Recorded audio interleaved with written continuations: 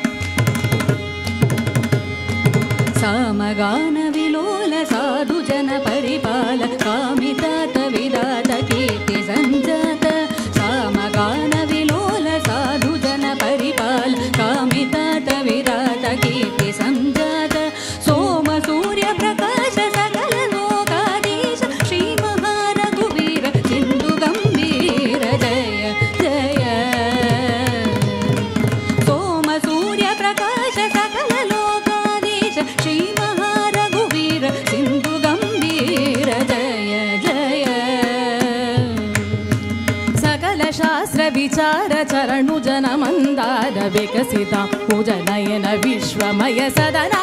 सकलशास्त्रविचारचरणुजनमन्दार विकसिता पूजनयन विश्वमय सदना।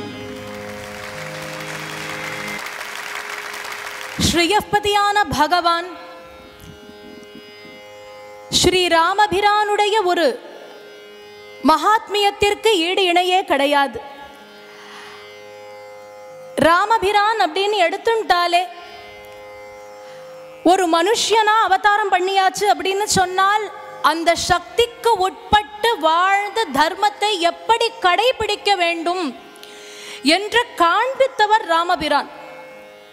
நம்ம எல்லாருக்குமே ஒன்று உண்டு.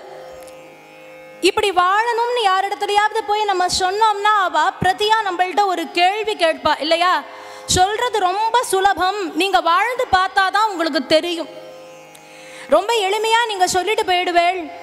என்னிடத்துல நீங்க இருந்து பார்த்தா தான் என் சுச்சுவேஷன் உங்களுக்கு புரியும்னு சொல்லுவா. ஆனா ராமன் அதனால தான் என்ன பண்ணினார்? சொன்னா இந்த மாதிரி எல்லாம் கேள்வி வருங்கிறதுனால நம்ம வாழ்ந்தே காண்பிச்சுடலாம்னு லிவிங் எக்ஸாம்பிள்னு ஒரு வார்த்தை சொல்லுவோமே அது போல வாழ்ந்து காண்பித்தவர் ஸ்ரீ ராமபிரான். அப்பேற்பட்ட ஸ்ரீ ராமபிரானுடைய அந்த குணாதிசயங்களையும் ராமாயணத்தில் வரக்கூடிய பல நிகழ்வுகளையும் அநேகமான வாகேயக்காரர்கள் ரொம்ப அற்புதமாக அனுபவிச்சிருக்கா. அதில் சில வாகேயக்காரர்களை இன்றைய தினம் அவ எப்படி ராமன் அனுபவிச்சிருக்கா ராமாயணத்தின் பகுதிகளை எப்படி அனுபவிச்சிருக்கா அப்படிங்கிறத பார்க்க போகிறோம் அந்த விதத்தில் முதல்ல பார்த்தது புரந்தரதாசருடைய பதம் தாசர் பதம்னு பேர். அதில் ராமாயணத்தில் வரக்கூடிய பல விஷயங்களை நமக்கு சொல்கிறார் தசரதனுக்கு பிள்ளையா அவதாரம் பண்ணினார். தசகண்ட சம்ஹார ராவணேஸ்வரனை வதம் பண்ணினார்னு பல லீலார்ணவங்களை சொல்லிட்டு வரார். அதில் தசரத மகவீரங்கிறத நம்ம பார்ப்போம். இந்த தசரதன் யாருங்கிறது தெரியணுமோ இல்லையோ? தசரதனுக்கு ராமன் அவதாரம் பண்ணினார்னு தெரியும். ஆனால் தசரதன் எப்பேற்பட்டவருங்கிறது பலருக்கு தெரியல. கங்கை தீரத்தில் தர்மாங்கத்தன் அப்படின்னு சொல்லக்கூடிய ஒரு தபஸ்வி பல காலமாக தபஸ் பண்ணிட்டு இருக்காராம் ஒரு பக்கம் அவர் தபஸ் பண்ணிட்டே இருக்கார்.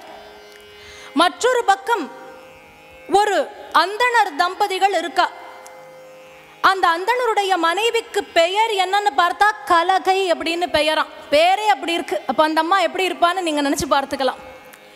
பேரே கலகை. அவ எப்படின்னா இப்ப ஆத்துக்காரர் இதை பண்ணு அப்படின்னு சொன்னா அதை தவிர எல்லாத்தையும் பண்ணுவா. இல்ல அதுக்கு நேர்மறை என்னவோ அதை பண்ணுவா. அந்த மாதிரி ஆப்போசிட் அப்படின்னா ரியல் ஆப்போசிட் அவ தான் நான் படுத்துக்கணும் அப்படின்னு சொல்கிறார் பாய போடு அப்படின்னா அங்கே நன்னா தண்ணியை கொட்டுவாளாம். ஏன்னா இவர் படுக்க முடியாதோ இல்லையோ? எனக்கு ரொம்ப ஜலதோஷமாக இருக்குது கொஞ்சம் மிளகு குழம்பு எடுத்துட்டு வான்னா நன்னா ஜில்லுன்னு ஜூஸ் போட்டு கொண்டு வந்து கொடுப்பாளாம். அந்த மாதிரி இருக்கிறச்சு இவருக்கு வாழ்க்கையே வாழ பிடிக்கல.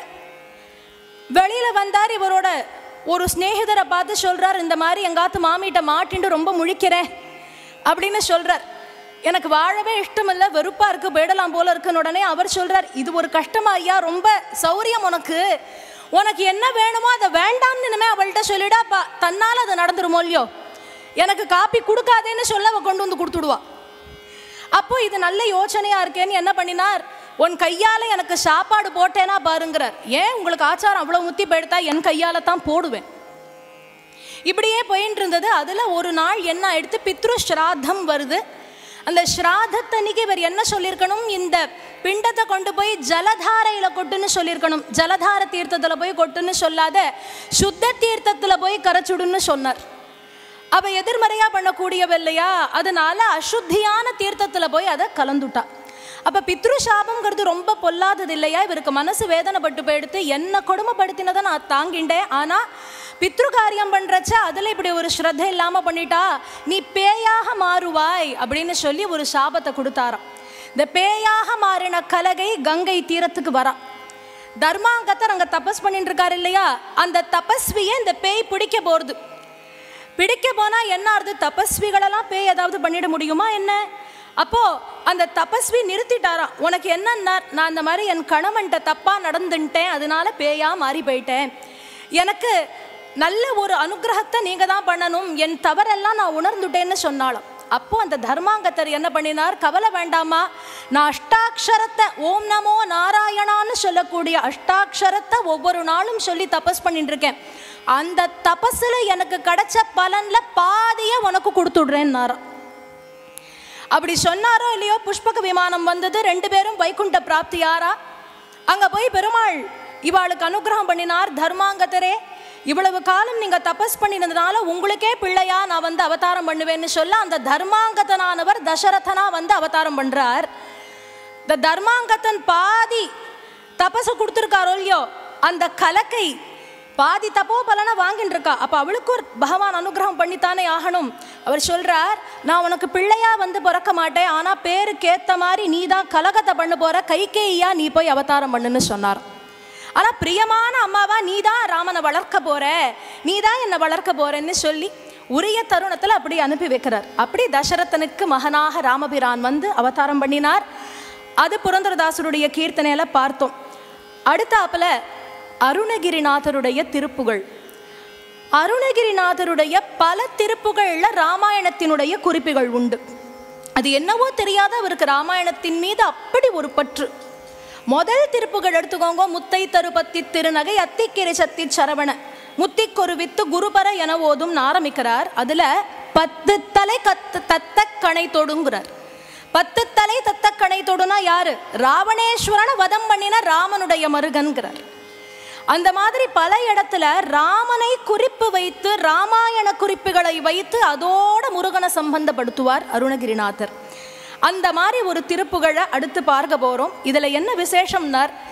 கண்ணனுடைய பால்ய லீலைகள் நமக்கு தெரியும். இல்லையா? யசோத கண்ணனை எப்படி பாராட்டி சீராட்டி வளர்த்தான்னு தெரியும். மீனாட்சி பிள்ளை தமிழ் நமக்கு தெரியும். ஆனால் இந்த ராமபிரானுடைய பால்ய வாழ்க்கை எப்படி இருந்ததுன்னு பலருக்கும் தெரியாது. அவருக்கு இருக்கக்கூடிய அந்த பருவம் ஒரு சப்பானி பருவத்தில் எப்படி இருந்திருக்கார்? அம்புலி பருவத்தில் அவர் என்ன பண்ணினார் அப்படிங்கிறதெல்லாம் தெரியாது. ஆனா அருணகிரிநாதருக்கு அது தோன்றியது போல இருக்கு. ஆஹா இவருக்கு ஒரு பிள்ளை தமிழ் மாதிரி பாடினா அழகா இருக்குமே அப்படின்னு நினைச்சார். திருச்செந்தூர் திருப்புகழ்ல எந்தையே வருக என் அப்பனே வருக அப்படின்னு பாடுறார். ராமனை கௌசல்யா அப்படி கூப்பிட்டுருப்பாளாம். எதற்கு? முலைப்பால் அருந்த வருக என்று கூப்பிடுறாளாம் கௌசல்யா. அதை அனுபவித்து அருணகிரிநாதர் அந்த திருப்புகழில் எழுதினார். அந்த திருச்செந்தூர் திருப்புகழ்லேருந்து ஒரு பகுதியை இப்போ பார்க்கலாம். எந்த வருக ரகுநாயக வருக. எந்த வருக ரகுநாயக வருக. மைந்த வருக மகனே.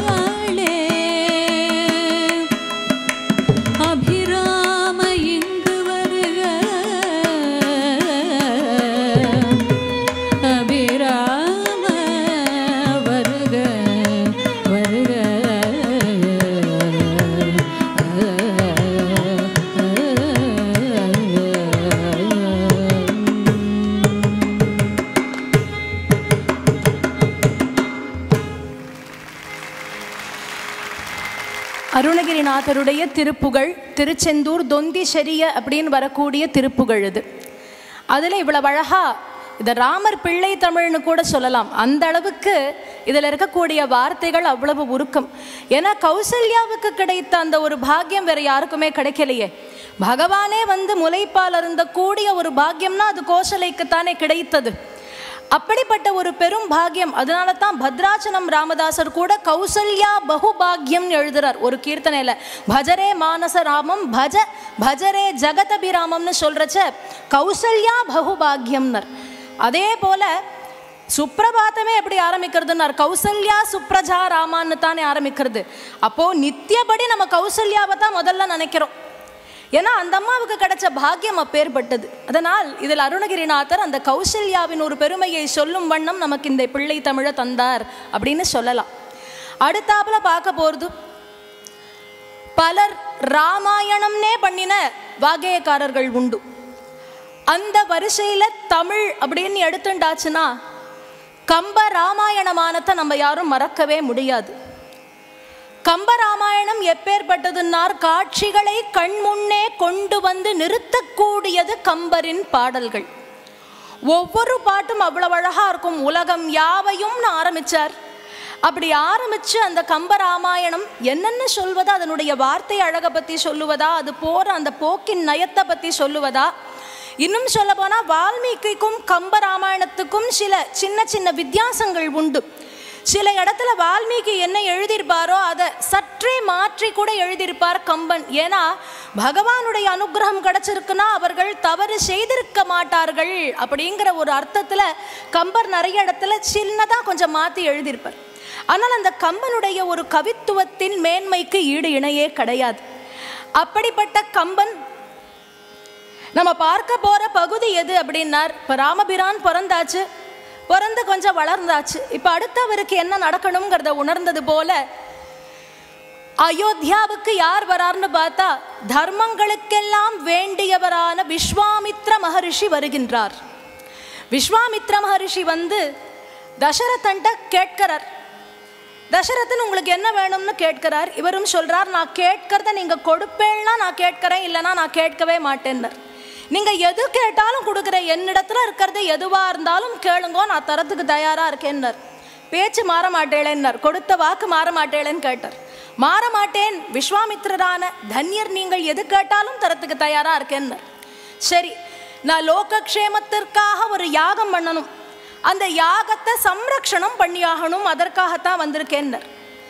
மந்திரியை கூப்பிட்டு சொல்றார் வீரர்கள் அனுப்புனர் அவர் சொல்றார் அந்த வீரர்களால் சமாளிக்க முடியாது. அப்போ நானே வரட்டுமா? தசரதன்னு பேர் இல்லையா? நானே வரட்டுமான்னர். நீங்களும் சமாளிக்க முடியாது. அப்போ யார் சமாளிக்கிறதுன்னர்?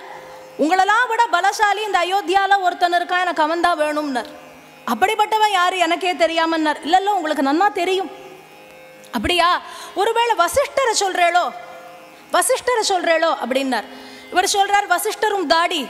நானும் தாடி தாட்டகையோட எங்கேருந்து வாதாடுறது? வாதாடி ஒன்றும் ஆகாது. அதனால அவரை சொல்லல உங்களுடைய பிள்ளைகளில் கரிய செம்மல் ஒருவனை தந்திடுன்னாராம். கம்பர் எழுதுறார் கரிய செம்மல்னு குறிப்பிட்டு எழுதுறார். நாலு குழந்தைகள் உண்டு உங்களுக்கு அதுல கரிய செம்மல் ஒருவனை தந்திட அவனே பராக்கிரமசாலின்னார். முதல்ல முடியாதுன்னார் அப்புறம் வசிஷ்டர் சொல்றார் அனுப்பி வைப்பா அவரோட. ஏன்னா அவர் நல்லதுக்கு தான் வந்திருக்காருன்னு சொல்லி அப்புறம் ராமனும் லக்ஷ்மணனும் சேர்ந்து வந்து அந்த யாகத்தை சம்ரக்ஷணம் செய்கின்றார்கள். இது ஒரு பகுதியாக நம்ம பார்க்க போகிறோம் விஸ்வாமித்திரர் அழைச்சிட்டு வரார். தாட்டகை வதமானது. இந்த தாட்டகை வதம்ங்கிறது ரொம்ப முக்கியம். ஏன்னா அவ ஒரு பெண் அவளை வதம் பண்ண முடியாதுங்கிறார் சுவாமி. எங்கள் சூரிய குலத்தில் அப்படி ஒரு பழக்கமே கிடையாது. பெண்களை ரட்சிப்பது தான் எங்கள் வேலையை வழிய ஒரு பெண்ணை வதம் பண்ணுவதுங்கிறது எங்கள் தர்மத்துக்கு உட்பட்டதே கிடையாதுன்னார். அவர் சொல்கிற நீ என்ன அவளை பொண்ணுன்னு நினச்சிட்டு இருக்கியா? அவள் கையில் பேங்கிள்ஸ் என்னன்னு பார்த்திருக்கியா மலைப்பாம்பை மலைப்பாம்பத்தான் விளையா போட்டுருப்பா இப்போ ஃபேஷன் விட்டுடலாம் அந்த சமயத்தில். மலைப்பாம்பத்தான் அவள் கையிலேயே போட்டுருப்பா அந்த மாதிரி அவோ அவ்வளவு கொடிய ராட்சசி. கார்த்தால பிரேக்ஃபாஸ்ட்டுக்கு ஒரு இரநூறு முனிவர். மத்தியானம் லஞ்சு கொஞ்சம் ஹெவியாக இருக்கலாம் இல்லையா? அதனால ஒரு அறநூறு எழுநூறு பேர். ராத்திரி டின்னர் கொஞ்சம் லைட்டாக சாப்பிடணும். போனால் போகிறதுங்கிறதுனால ஒரு நூறு பேரோட நிறுத்திப்பா. அந்த மாதிரி முனிவர்களை கொடுமைப்படுத்தக்கூடியவள் அவள் பெண்ணே கிடையாது. அதனால நீ அவளை வதம் பண்ணணும்னு சொல்ல அதன் பிறகு ராமபிரான் மைவண்ணத்து அரக்கி போரில் மழை வண்ணத்து அண்ணலேன்னு பாடுறார். மைவண்ணத்து அரக்கியான தாடகையை சுவாமி வதம் பண்றார். பதினாறு வயசு கூட பூர்த்தி ஆகல அதுவே சுவாமிக்கு கிடைத்த முதல் வெற்றி. அதுக்கப்புறம் யாக சம்ரக்ஷணம் பண்றார். கவித்தனன் கரதலம் கலங்கலீர் என செவித்தலம் நிறுத்தினன் சிலையின் தெய்வனான். புவித்தலம் குருதையின் புனரியாக்கினன் குவித்தனன் அறக்கர்த்தம் சிரத்தின் குன்றமென்னர் ஒரு பக்கம் பார்த்தா ரத்தம் வெள்ள பெருக்கெடுத்து போடுது மற்றொரு பக்கம் பார்த்தா தலையெல்லாம் மலமலையா குமிஞ்சிருக்கான் இப்படி கம்பர் அனுபவிக்கிறத விருத்தமா பார்த்துட்டும் பின்னாடியே தியாகராஜரை பத்தி எப்படி சொல்லாத இருக்க முடியும். சத்குரு ஸ்ரீ தியாகராஜ சுவாமிகள் ராமாயணத்துல வந்த அநேகமான நிகழ்வுகளை கீர்த்தனையா நமக்கு தந்த பெருமை கொண்டவர். அப்படிப்பட்டவர் அவருடைய கீர்த்தனையில சொல்லும் பொழுது மாரீச்சனுடைய மதத்தை சுவாமி எப்படி அடக்கினார்ங்கிறத ஒரு கீர்த்தனத்துல சொல்றார். చెలువ మీరగను மாரீச்சுனி மதமனச்சு வேளன்னர். அலகலல்ல லாடக கனிங்கிற கீர்த்தனத்தில் மாரீச்சனை சுவாமி வதம் பண்ணலையா தாட்டகையை வதம் பண்ணார் இல்லையா தாட்டக்கரை தாட்டகையுடைய பிள்ளைகள் தான் மாரீச்சன் சுபாகு ரெண்டு பேரும். தாட்டகையுடைய பிள்ளைகள். சுவாமி யாக சம்ரக்ஷணம் பண்ணுறச்ச சுபாகுவை வதம் பண்ணிடுறார். ஆனால் மாரீச்சனை வதம் பண்ணலையாம். அந்த சமயம் மாரீச்சனுடைய மதத்தை மட்டுமே அடக்கினார்னு சொல்றா. ஏன்னார் ராமன் தர்மவான் இல்லையா? அம்மா அப்பதான் போயிருக்கா யார் காரியம் பண்ணுவா? அதற்கு ஒரு பிள்ளை இருக்கணுமோ இல்லையோ? சமுத்திரத்துக்கு துரத்தினாராம் அதனால தான் அதனால் மாரீச்சனை வதம் பண்ணல அவருடைய மதத்தை மட்டுமே அடக்கினார். பின்னாடி மாரீச்சனை வதம் பண்ணினார். அதே போல விபீஷணனுக்கு லங்கையை கொடுத்தார். தான் ஒன்னு ஜெயிச்சுட்டு அதை இன்னொருத்தருக்கு கொடுக்கிற மனசு ராமனை தவிர வேற யாருக்கு வரும்னர்? அதே போல வாலி வதத்தை பத்தி சொல்றார். இப்படி பலதை ஒரே கீர்த்தனையில கோத்துருக்கிறது எதுனார்? புரோச்சே வாரவே அப்படிங்கிற கீர்த்தனத்துல நமக்கு அழகா சொல்லியிருக்கார் அதனால இந்த ஃபுல் பகுதி கம்பன் and தியாகராஜரோட சேர்ந்து இருக்க போறது. தருவனத்துள் யானியற்றும் தகை வேள்விக்கு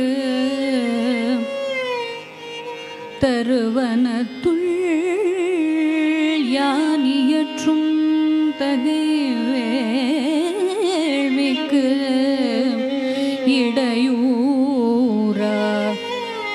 தவம் செய்வோர்கள் வெறுவரச் சென்று அடை காமவெகுளியன நிருதர் இடைவிலக்க வண்ணம் சிறுமுகத்து காத்தினீன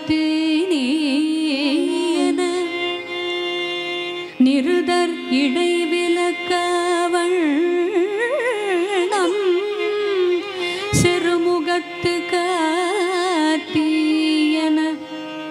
நின் சிறுவர் நால்வரினும் கரிய செம்மல். கரிய செம்மல் நின் சிறுவர் நால்வரினும் கரிய செம்மல் ஒருவனை தந்திடு நீயன தந்திடுதீயன நின் சிறுவர் நாள்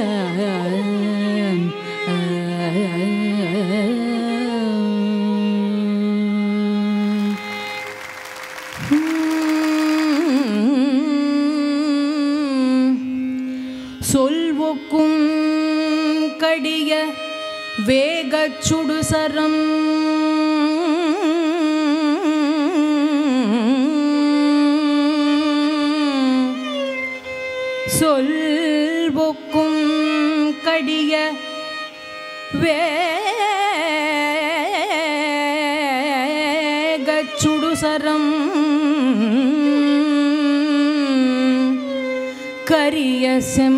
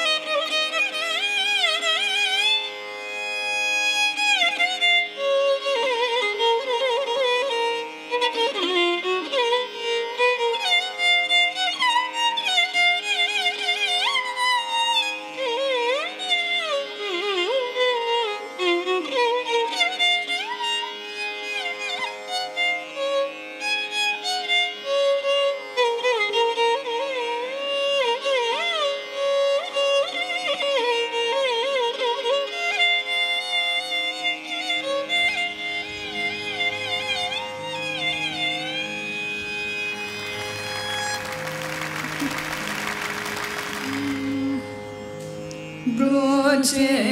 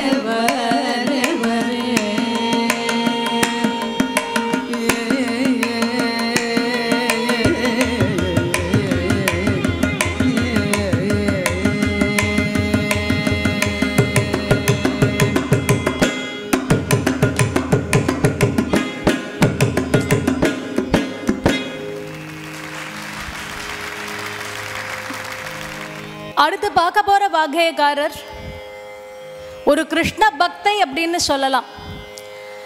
கிருஷ்ண பக்தையா இருந்துட்டு கிரிதர கோபாலன் பேர்ல பல அற்புதமான கீர்த்தனங்களை தந்த மீராபாய். ஸ்ரீராமருடைய பெருமைகளை சில பாடல்கள்ல அவர் ரொம்ப அற்புதமாக அனுபவிக்கிறார் அதுல ஒரு பஜன்ல ரொம்ப அழகா அகல்யாவுக்கு நீ சாப விமோச்சனம் பண்ணினியே அந்த பாதத்தின் மகிமையை நான் அறிவேன் அப்படின்னு சொல்றான். எந்த பாதத்துல இருந்து கங்கை வந்ததோ அதே பாதமானது அகல்யாவிற்கும் சாப விமோச்சனம் பண்ணித்தே. பகீரதன் அவருடைய மூதாதையர் அத்தனை பேருக்கும் எந்த பாதம் கங்கையை கொடுத்து உத்தாரணம் பண்ணித்தோ அதே பாதமானது அகல்யா சாப விமோச்சனம் பண்ணித்தே.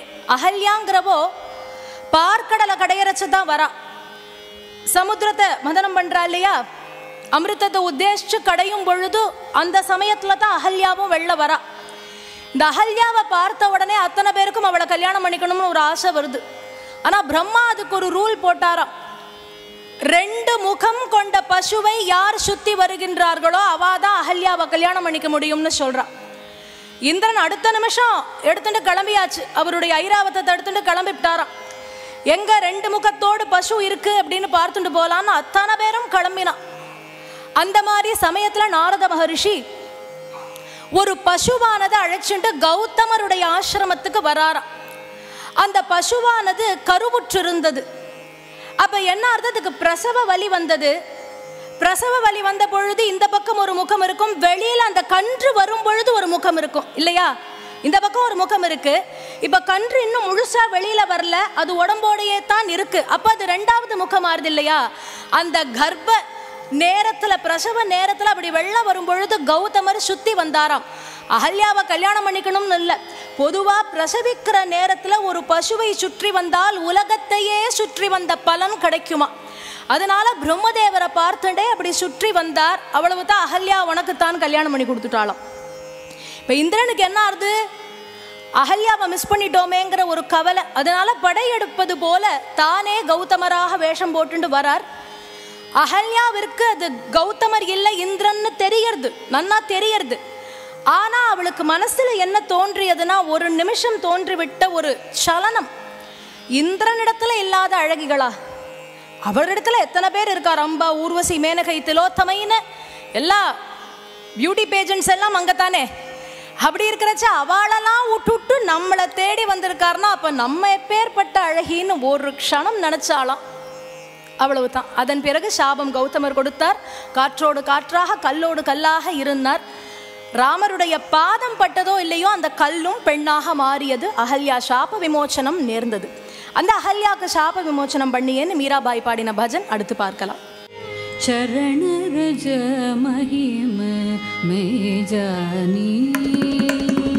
चरण रज महिम मैं जानी। राम चरण रज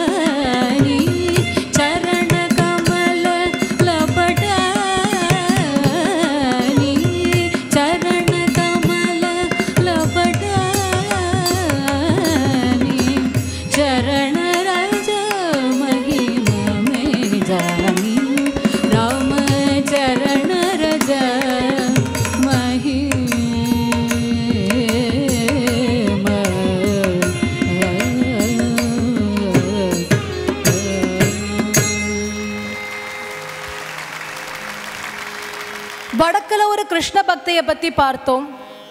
தெற்குல கிருஷ்ண பக்தின்னு சொல்லியாச்சுன்னா அடுத்த நிமிஷம் நம்ம நினைவுக்கு வரக்கூடியவர் யாருன்னார்? ஊத்துக்காடு வெங்கட சுப்பையர் அவர்கள். பல கீர்த்தனங்கள் கிருஷ்ணன் பேர்ல கிருஷ்ணனுடைய நர்தனத்தை அனுபவிக்கிறது என்ன? கிருஷ்ணன் யசோதையோட பண்ணின லீலைகள் அனுபவிக்கிறது என்ன? அப்படின்னெல்லாம் சொன்ன ஊத்துக்காடு வெங்கட சுப்பையர் ராமரையும் அனுபவிக்கிறார்.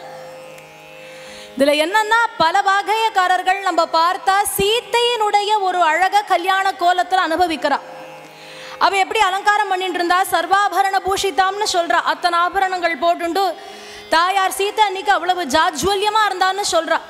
ஆனா பெரும்பாலும் இந்த கல்யாணம்னு வந்துட்டாலே ஸ்திரீகளை தான் வர்ணிப்பா. இல்லையா? ஏன்னா அவ தான் அலங்காரங்கள் பண்ணிட்டு இருக்கா புருஷனுடைய அலங்காரத்தை பெருசா என்ன சொல்றது? அப்படின்னு நினைச்சுட்டா போல் இருக்கு. ஆனா ஊத்துகாடு வெங்கட சுப்பையர் ஒரு ஸ்டெப் மேல போனாராம். சீத்தை அழகுதான் இல்லைன்னு சொல்லல அவளுடைய அலங்காரங்கள் அழகு. ஆனா கல்யாணத்தன்னைக்கு எங்க ராமனும் அலங்காரம் பண்ணிட்டு இருப்பாரு குரூம் பிரைட் குரூம்னு சொல்றோம் இல்லையா? குரூம் இஸ் குரூம்ட் அப்படின்னு காண்பிக்கிறது ஊத்துக்காடு வெங்கட சுப்பையர் தான் இங்க. அவருடைய கீர்த்தனத்துல நமக்கு சொல்றார் எப்படி அலங்காரம் பண்ணிட்டு இருக்கார்னார் அத்தனை புஷ்ப மாலைகளை தரிச்சுருக்கார் மல்லிகாதி சுகந்த நவ மணிமாலிகாதின்னுட்டார் அத்தனை மாலைகளை போட்டுருக்கார் காதுல குண்டம் இரு குண்டலம் இருக்கு அழகான மகுட்டம் வச்சுருக்கார் பளபளன்னு இருக்கார் பட்டு வஸ்திரம் அப்படி அணிஞ்சுண்டு. அவர் கல்யாண கோலத்துல பார்த்துட்டே இருக்கலாம் போல இருக்கு அவ்வளவு அழகா இருக்கார் ராமபிரான் அப்படின்னு சொல்லி. யாரெல்லாம் கல்யாணத்துக்கு வந்திருந்தான்னு வேற சொல்றா கௌதம வசிஷ்ட தும்புரு நாரதர்னு அத்தனை முனி மண்டலங்களும் இருக்கு. அத்தனை பேரும் இருக்க முப்பத்து முக்கோடி தேவர்களும் அங்கு இருக்க பெருந்தவ முனிவர்களும் வீற்றிருக்க. ஸ்ரீ ராமபிரான் தாயார் சீதையை கல்யாணம் பண்ணிண்டார்னு சொல்றார். எந்த கீர்த்தனத்துல சொல்றார்? மல்லிகாதி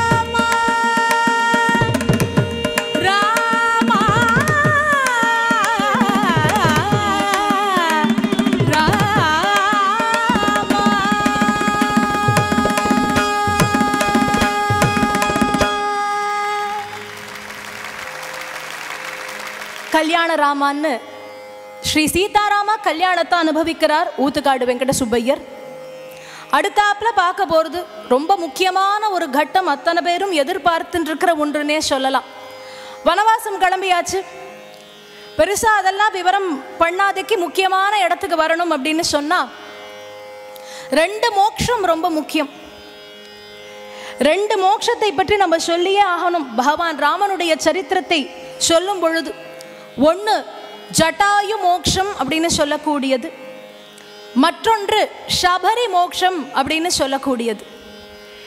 ஜட்டாயுன்னு சொல்லக்கூடியவருக்கு பெரும் பாக்கியம் கிடைச்சது. ராவணேஸ்வரன் சீதையை அபகரணம் பண்ணிட்டு போகும் பொழுது அந்த சமயம் ராவணேஸ்வரன் டெந்து சீதையை காப்பாற்றுவதற்காக அவ்வளவு முயற்சி பண்ணினார் ஜட்டாயு. தன் மூக்கால ராவணேஸ்வரனை கொத்தி கொத்தி கொத்தி எவ்வளவு தூரம் ரத்தம் வர வைக்க முடியுமோ பார்க்கிறார். அதை மீறி அந்த மூக்க அறுக்கிறாராம் வஜ்ராயுதம்னு சொல்லக்கூடியதை பயன்படுத்துறார். அடுத்தாப்புல என்ன பண்ணினாராம் தன் ரக்கை இருக்கோ இல்லையோ அந்த ரக்கையால் அடிச்சு அடிச்சு அடிச்சு ராவணேஸ்வரனை போக விடாம தடுக்கிறாராம். சிவபெருமான் கொடுத்த ஒரு ஆயுதத்தினால என்ன பண்ணினார் ரெண்டு ரக்கையையும் வெட்டினாராம் ஜட்டாயு கீழே வந்து விழுந்தார். ஸ்ரீ ராமபிரானும் லக்ஷ்மண சுவாமியும் ஜட்டாயுவை பார்த்து வேதனைப்பட்டாளாம். ஜட்டாயுவை தன் மடியில் தாங்கிக் கொண்டார் பகவான் ஸ்ரீராமன். அவ அப்பா தசரதனுக்கே கிடைக்காத பேரு. ஜட்டாயுவுக்கு கிடைச்சது. பகவான் மடியிலேயே ராம் ராம் ராம் ராம்னு ராமநாமத்தை சொல்லிக்கொண்டு ராமனை தரிசித்தபடி ராமனோடு ஸ்பர்ஷத்தோடு அவருக்கு மோட்சம் கிடைச்சது. இதுக்கு மேல என்ன வேணும்? அப்படிப்பட்டது ஜட்டாயுக்கு கிடைச்சது. தசரதனுக்கு கூட கிடைக்காத பேரு ஜட்டாயுக்கு கிடைச்சது. ஆனா இங்க ராமன் ஜட்டாயுக்கு மோக்ஷம் கொடுத்தார். ஆனா அடுத்து சபரி இருக்கா இல்லையா? சபரிக்கு சுவாமி மோக்ஷத்தை கொடுக்கல. நம்மலாம் சபரி மோக்ஷம்னு சொல்றோம். பகவான் ராமன் சபரிக்கு மோக்ஷத்தை கொடுத்தார்னு சொல்றோம். கிடையவே கிடையாது.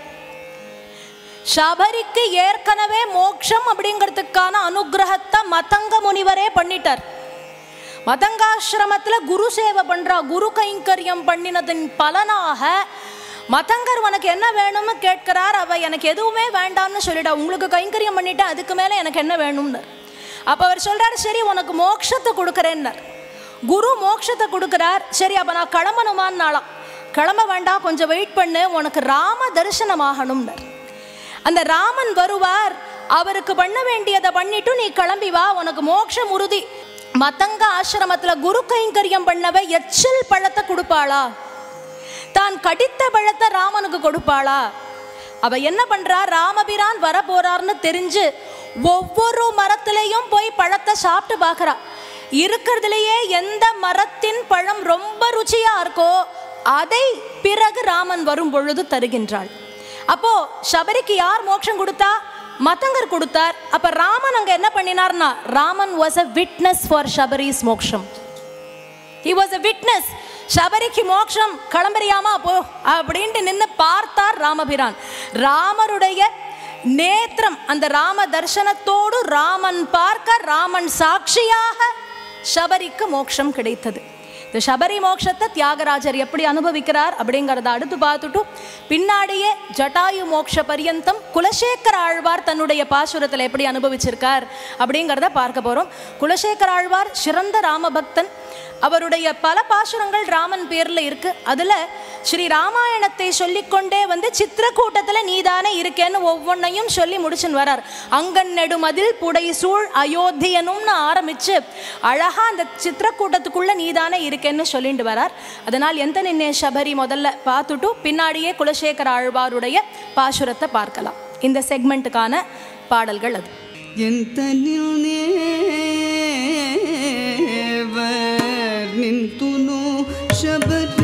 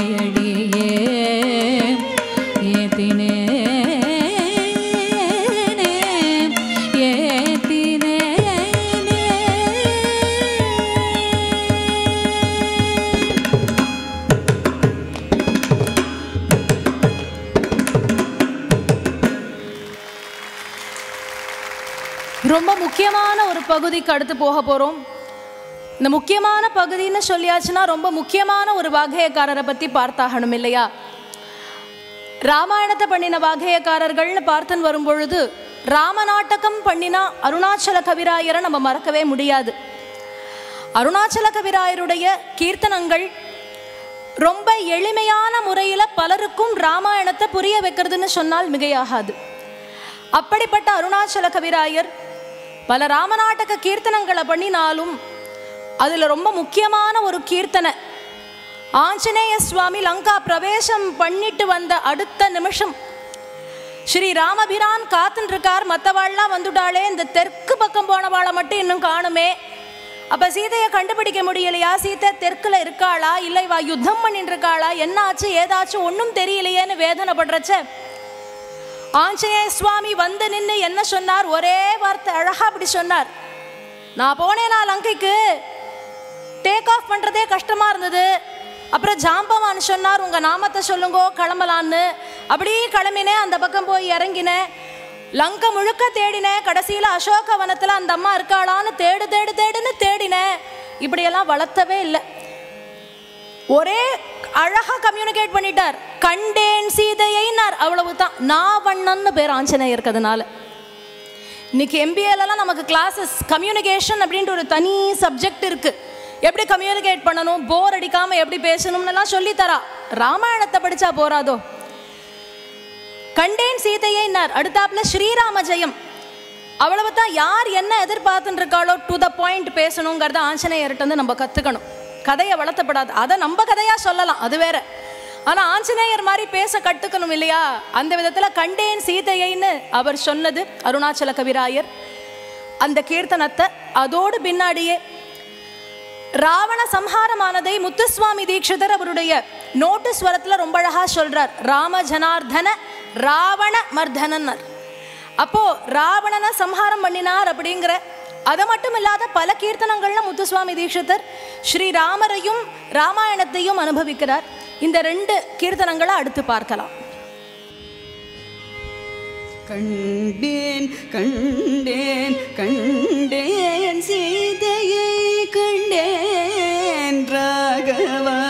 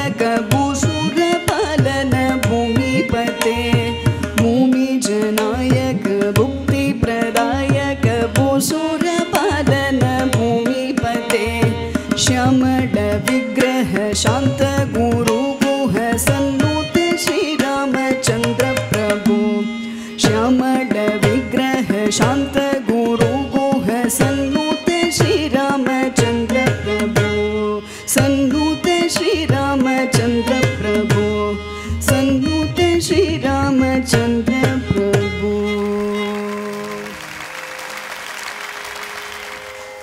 ராவண சம்ஹாரம் முடியறது அடுத்து ஒரு முக்கியமான கட்டம் இல்லையா? ஸ்ரீராம ஜெயம்னு போய் ஆஞ்சநேயர் சொல்லிட்டார். சுவாமி சொல்றார் விபீஷணன்ட்ட நன்னா அவள் அலங்காரங்கள் எல்லாம் பண்ணி நடத்தி அழிச்சுட்டு வாங்குறாராம். அவளை நடந்து வர சொல்லு அப்படின்னு சொல்றார்.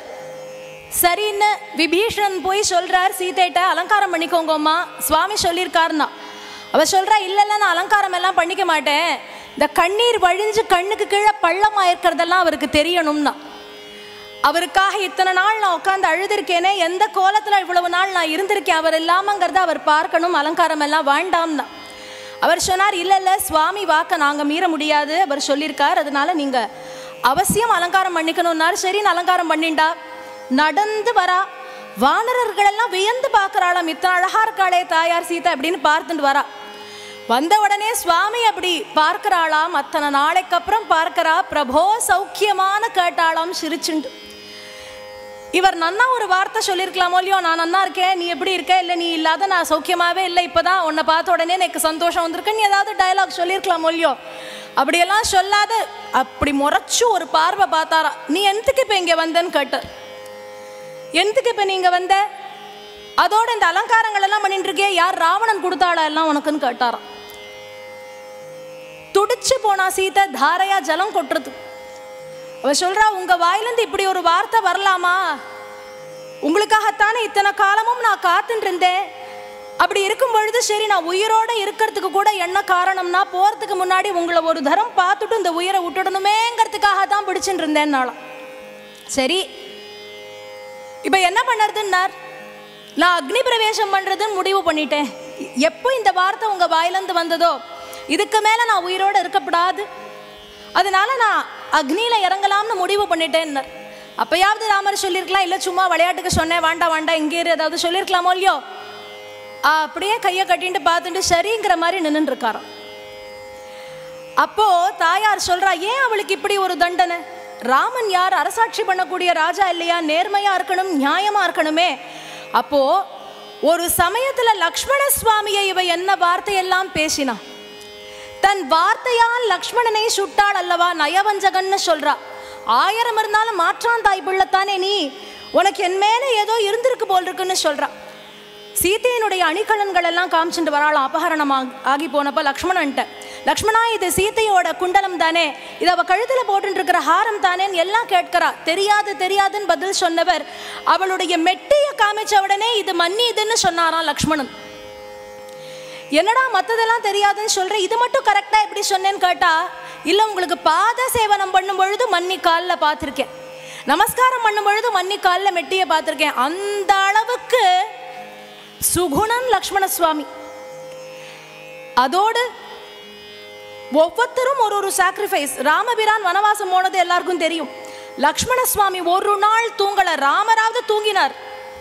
சுமித்ரா சொல்லியிருக்கா ராமன் உயிர் போகப்படாது அதுக்கு முன்னாடி உன் உயிர் போயிருக்கணும்னா. அப்படிப்பட்ட லக்ஷ்மணன் பாகவதோத்தமனை பார்த்து இப்படி சொல்லலாமோ? சீத்தை பேசிட்டா இல்லையா? பாகவத் அபச்சாரம் பண்ணா கூட பொறுத்துப்பார். பாகவத் அபச்சாரம் பண்ணினா சுவாமி பொறுத்துக்க மாட்டார். அது தாயாராகவே இருந்தாலும் தண்டனை உண்டு. அதுதான் இதுல காண்பிக்கிறார். அதனால சொல்றா அன்னைக்கு உன்னை வார்த்தையால நான் சுட்டேன் இல்லையா? அதனால இன்னைக்கு உங்க அண்ணா திரும்ப என்ன சுட்டு காமிக்கிறார். எனக்கு ஒண்ணும் இல்ல. லக்ஷ்மணா தீய மூட்டுன்னாளா நீயே மூட்டு. அப்ப கூட லக்ஷ்மணன் அண்ணாவை பார்த்தாராம். வேண்டான்னு இப்படி ஏதாவது கண்ணுல காமிப்பாரோன்னு. "ஆ," அப்படின்னாராம் ம் நடக்கட்டும்னார். அப்போ சீத்தை அந்த தீயில இறங்குறா. ஆனா அக்னிதேவன் பயந்தடிச்சுண்டு ஓடி வந்தாராம் மேல. சீத்தை கற்பின் தீ என்னை சுட்டு விட்டது என்று அக்னி பகவான் வந்து சொன்னாராம். அப்படிப்பட்டது துளசிதாசர் ரொம்ப அழகா வர்ணிக்கிறார். அந்த பஜன் பார்த்துட்டு அதோட பட்டாபிஷேகமான சுவாதி திருநாளுடைய காம்போசிஷனோட இன்னைக்கு பூர்த்தி பண்ணிக்கிறோம்.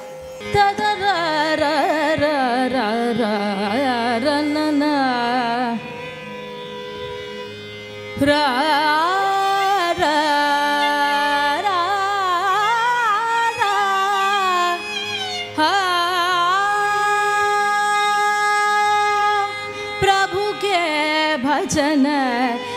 सधरी।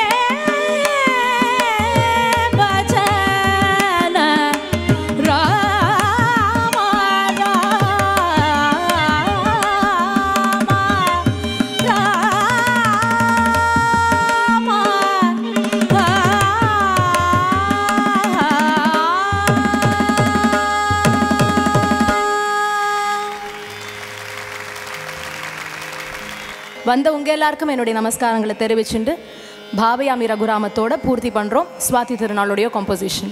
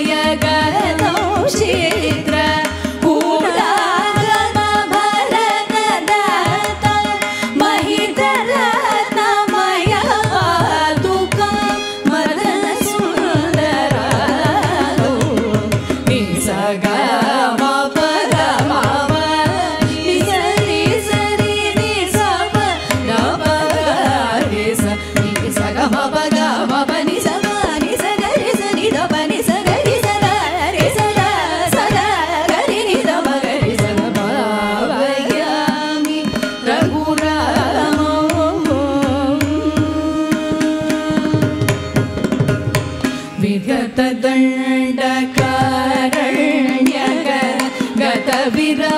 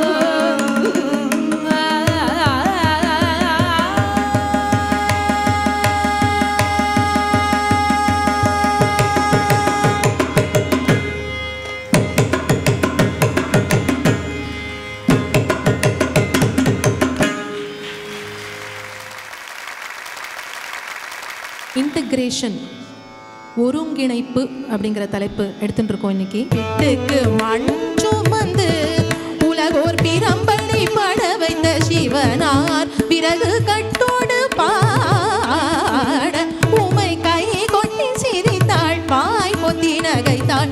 சுதா திருஷ்டி அப்படின்னா அன்பு பார்வை.